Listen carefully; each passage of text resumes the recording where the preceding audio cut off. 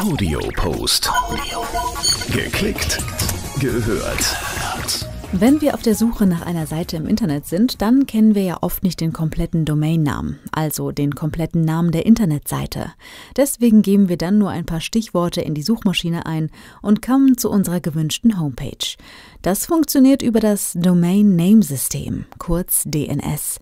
Domainnamen? Was sind das eigentlich genau? Immer wenn wir im Browser eine Adresse eingeben, kommt DNS zum Einsatz. So wird zum Beispiel www.homepage.de in eine IP-Adresse umgewandelt. Dazu wird zuerst bei den Root-Servern nachgefragt, wer zuständig ist für DE. Mit dieser Antwort wird dann bei der DNIC nachgefragt, wer denn nun für Homepage.de zuständig ist.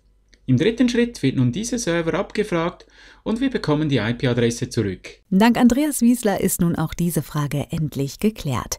Er ist Computerspezialist und berät als Inhaber der Firma Go Security Firmen und Privatkunden zum Thema Computersicherheit.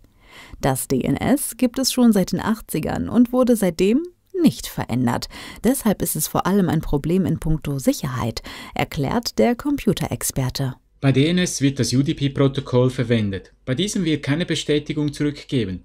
Es ist in etwa so, wie wenn ich in den Wald rufe und auf eine Antwort warte. Und dieses in den Wald rufen ist ein gefundenes Fressen für Cyberkriminelle. Ein Hacker könnte nun schneller antworten und da mein Computer dies nicht überprüfen kann, glaubt er das und ich werde auf eine falsche Homepage geleitet. Eine Behebung der fehlenden Sicherheit ist nicht gerade einfach, so der erfahrene IT-Sicherheitsexperte. Die Forscher sind zwar dran, eine Lösung zu suchen, aber das wird noch einen Moment dauern.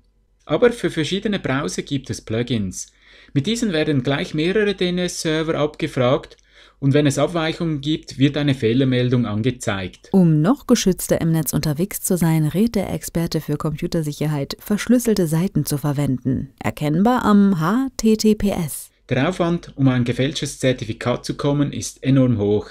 Kaum ein Hacker wird diesen Aufwand auf sich nehmen und so ein Zertifikat fälschen. Aber wenn das Domain-Name-System bereits seit fast 40 Jahren existiert, müsste es doch auch sichere Alternativen geben, oder nicht? Fehlanzeige. Da gibt es Nachholbedarf, sagt Computerexperte Andreas Wiesler. Es sind bereits erste Entwürfe da, wie zum Beispiel DNS über verschlüsselte Verbindungen anzubieten. Doch bis zum Durchbruch dauert es noch eine Weile. DNS ist enorm stark verbreitet und dies bedingt weltweite Anpassungen. Es ist aber zu hoffen, dass sich alle auf einen neuen Standard einigen können. Audiopost. Geklickt, gehört.